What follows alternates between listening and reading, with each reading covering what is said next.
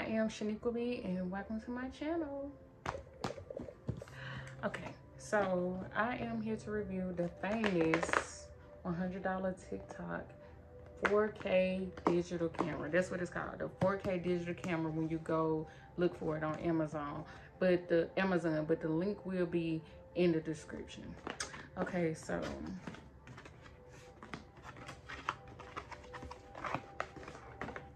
here it is so it comes with a card from the company that says if you have any questions or need any help please reach out and they have qr code so you can get to it easily.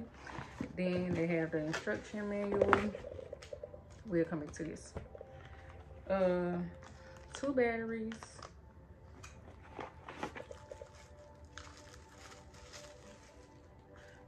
The charging pack for the battery, adapter, USB. I don't know what this is. Two caps. And then he has the macro lens for you to attach to the front of the camera. Cute. Okay, and then of course, you have your camera. Okay, so I got the pink camera. So it's not $100. The black camera is $100. The pink camera was like 119 or 120 something. I'm not sure. But um it's a such thing. It's called pink tax. Just like if you get a red car, they charge you more for it. Pink tax, red tax, red sports car. It's a little bit more for a pink phone, pink pink camera. But um yes, let's add this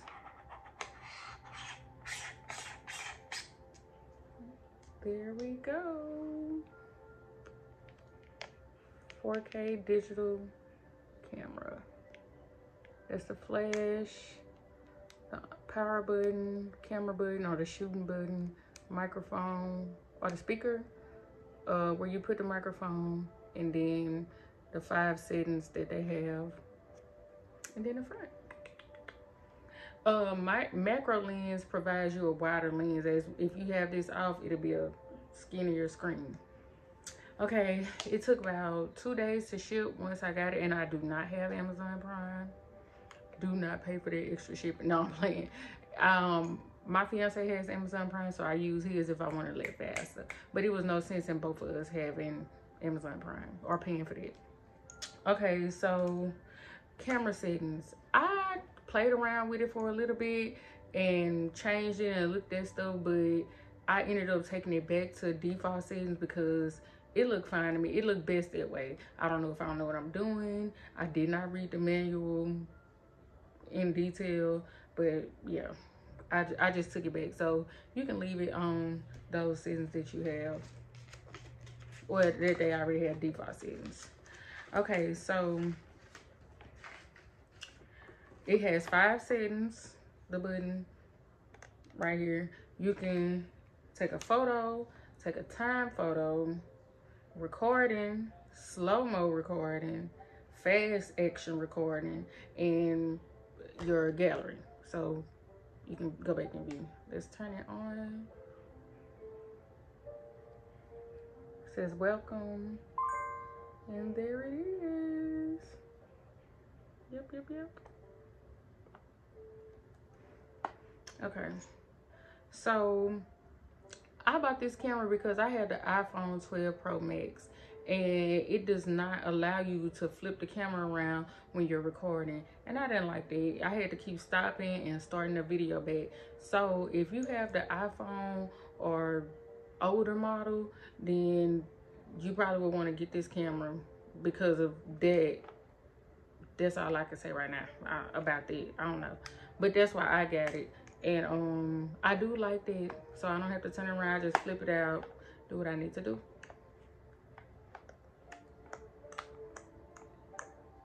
Oh my neck long. Okay so picture quality uh i will say that my iphone's picture quality is better than this. Um and i'll put it side by side on the screen so you can see video quality same with the video quality it's better on your iPhone than it is on the camera. Um, sound quality, it is better on the iPhone than it is on the camera. Let me turn this off. So you will need a microphone. This quality, the sound quality on here is horrible. Zero out of 10, I would not recommend. So um, I already have a microphone. You can slide this out. I thought I had, oh, okay. Slide that out and attach it if I can get it. But you just slide it on there. I don't know why it's not going.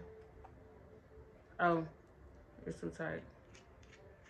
So loosen it up. And then tighten it back on there. So it won't move. My hair, it don't move. but yeah, so you attach that like so. And preferably, I prefer you get this one because if you got the little fuzz one, it'll block your flash. And you don't want to do that. So it has a microphone port on the side. Just put that in there and you're ready to go.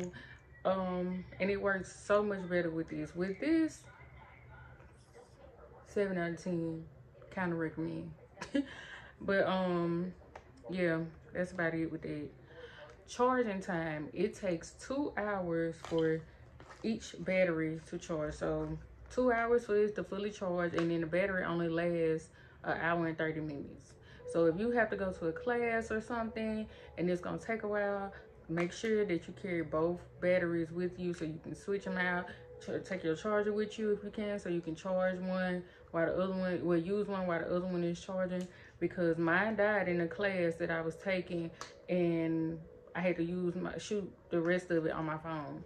So yeah, take this. So you might want to buy a carrier case for your iPhone, for your camera and everything that goes with it. Um, like I said, the battery lasts one hour and 30 minutes. Uh, focusing, that's a down of con too. When you're recording a video, it does not have good focusing. So you have to like tap, just tap, not fully push, but just tap it and you have to just hold it lightly for it to stay in focus. So zero out of 10 would not recommend it. On your iPhone, of course, you just push record and it goes. I definitely do not like this. I did not hold it on mine, but it was kind of, it was close to me. So if it's more than three feet away from you, then you would have to hold this button. If it's three feet or closer, then you don't have to hold the button. It's, but uh, weird, I don't know. But you get what you pay for, $100. You're not going to get too much out of this. But for what is what I paid for it, I would say it's worth it. So, um, it does have an app that you can download and you can upload the pictures and the videos to whatever, get the pictures off. But for some reason, my app won't connect to my Wi-Fi, so I haven't been able to use it. So, zero out of 10. Um, the app for the for your phone to connect is XDV Pro. So, um, my opinions. The pros, like I said, if you have an iPhone 12 Pro Max or older, uh, older model, then the pros to it would be that you don't have to keep stopping and starting your camera to flip around. You can just use this. Um, that's the only pro I have. Yeah, that's the only pro I have. The cons, microphone you will need to buy these. So that's extra money that you have to spend. Um the video quality is okay. I'll insert a video so you can see.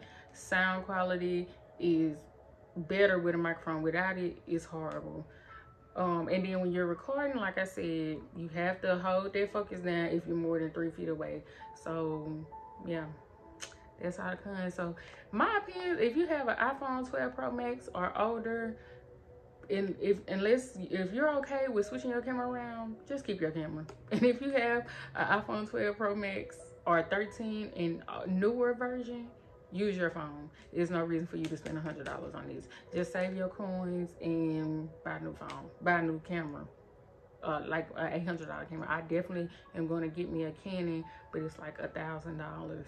But yeah, I definitely will be stepping my game up when it comes to it. But yeah, that's that's it. But um honestly i haven't decided if i'm gonna return it or not i'm gonna do play with it some more and see how it goes and then but right now if i had to decide right now right now i would send it back i would just use my phone and start and stop the video. You can all, you got to edit your videos anyway before you upload them to youtube so i send it back and i just do that until i save my coins. Thank you for watching